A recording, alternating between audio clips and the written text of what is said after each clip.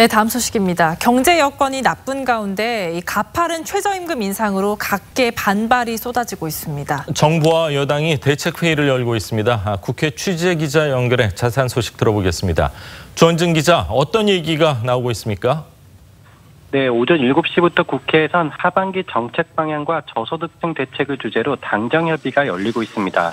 민주당에서 홍영표 원내대표, 김태년 정책위 의장 등이 정부에선 김동연 부총리와 김영주 고용노동부 장관 등이 참석했습니다. 홍영표 원내대표는 영세업자들이 힘든 이유는 최저임금보다 건물 임대료나 대기업 횡포 탓이라며 상가 임대차 보호법과 가맹사업법을 반드시 통과시키겠다고 말했습니다. 카드 수수료 인하도 구체적인 대책을 찾겠다고 말했습니다. 민주당은 근로, 근로장려 세제를 확대해 저임금 노동자의 소득을 보전해야 한다고 주문했습니다. 김동연 부총리는 어르신과 다양업자, 취약계층을 중심으로 사회 안정망 확충을 추진하고 근로장려 세제 지원 대상과 지원 액수를 대폭 확대하겠다고 화답했습니다.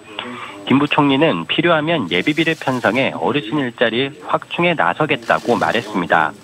여당에는 영생업, 영세업자 관련 법안을 적극 통과시켜달라고 당부했습니다. 지금까지 국회에서 TV조선 주원진입니다.